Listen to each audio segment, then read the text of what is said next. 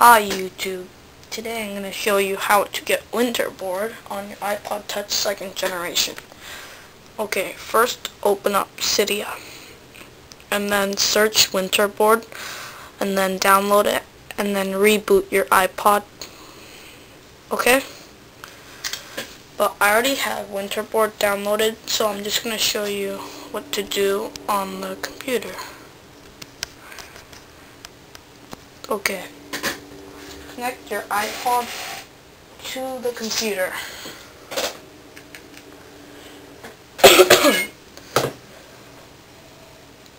Since you rebooted the iPod, you have to re-upload the Redsn0w patch.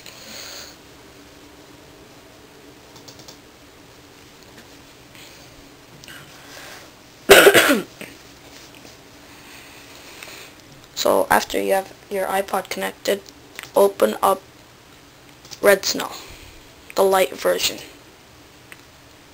Skip to the fifth step. Sorry, I just had to move my camera. Okay, after you're at the fifth step, you have to put it to DFU mode, so hold the hold the um, power button and then the home button for 10 seconds. But I'm not going to do it because I already have Winterboard.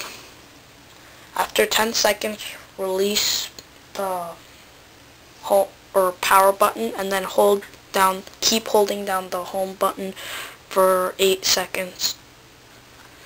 After that, you upload this, this button right here. You click it and it'll do everything you need it to do and then after that disconnect your iPod from your computer for two seconds and then after two seconds or more seconds reconnect your iPod.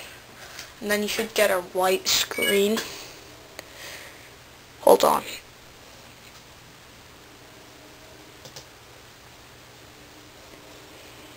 Okay just get out of iTunes Okay, after that you should get a white screen and then press this button, upload own patch and then click next.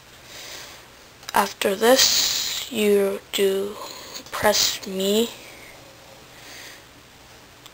whoops it got out because my iPod wasn't in DFU mode. Okay, you do that and then you paste the commands.